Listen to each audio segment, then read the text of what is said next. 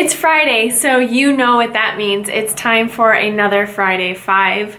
Last week, I announced that I was starting a new company called Bloom, and so for my first of the five, I have to say that the response to Bloom has been overwhelming. So many people have said congratulations or thanks, or I got a lot of um, response from people, and I'm so grateful. I am super excited for this new adventure and I have connected with a bunch of new people and um, I am it just makes me really, really excited to start this. And so thank you to anyone who watched this, who reached out to me and said something, or even if you just liked a picture or whatever. I am just overwhelmed by the amount of support outreach that has been brought to me by this announcement. So that's my first thing of this Friday Five. The second thing is this chakra spray. I am so obsessed with this room spray. Um, it's actually, it's called a balancing body mist. And essentially what you do is uh, you go to Aveda store or you go to Nordstrom. I went to Nordstrom with my mom and it's probably, it's so gimmicky, but I love it.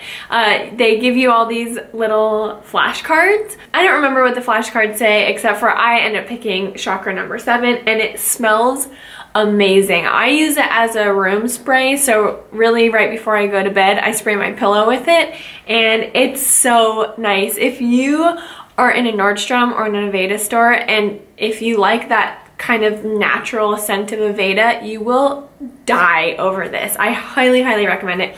And with the holidays coming up, I think it's a really good gift to give people just because I think Aveda is nice and um, I would love giving it, getting it as a gift. so uh, I always think that's the best policy is give something that you know you would like.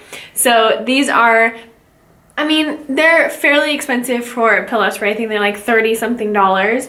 And um, you can pick it for them, the one through nine or however many, just the one that you think speaks the best to them or to yourself. So definitely go check these out. My number three is more than just from this week. It was from the past four weeks. And that was that I did a month of no shopping, like nothing unnecessary. I didn't buy decorations, I didn't buy clothing, I didn't buy makeup, I didn't buy anything that wasn't necessary. So I did go to Target, I had to buy Q-tips, but other than that, I think I went to Target twice, once for Q-tips and once for like, I can't even remember what it was, but whatever it was, it was probably like food or something like that. And I was really proud of myself. I think um, I just went into the habit of just buying things to buy things and I wanted to break that habit. So I went um, for a month of no shopping and I feel cured.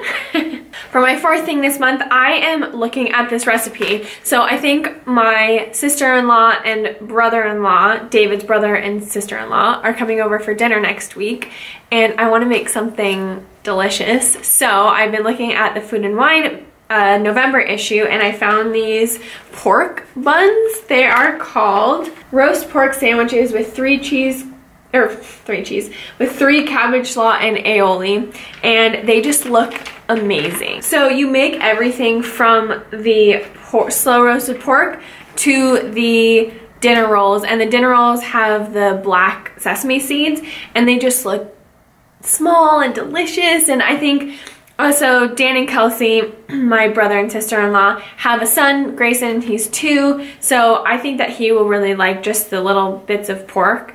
And then um, I think that will be good for him to eat. And then Dan Kelsey and I can have these little, they're almost like pork sliders. I think that they're gonna be really good. I will let you know how that goes. Um, and for the most part, I think that Food and Wine magazine recipes are excellent. I haven't had very many recipes that I've tried from Food and Wine that I haven't liked. So if you're looking for a good magazine, food magazine, food magazine to subscribe to, I would definitely check out Food and Wine. So for number five, I went shopping at Fry's for normal grocery things. And after my whole month of no excess shopping, I decided to splurge and I picked up uh, some cacti. So these were actually on sale. They're only $3 each. And I repotted them. They came in like a brown terracotta or like a terracotta pot. And um, I put this one's an Ikea pot, but it was only three bucks for this awesome cacti. And cacti, I've I have kept cacti alive for years and years. So I am a I am tried and true cacti mom. So I got this one and then I got two other ones.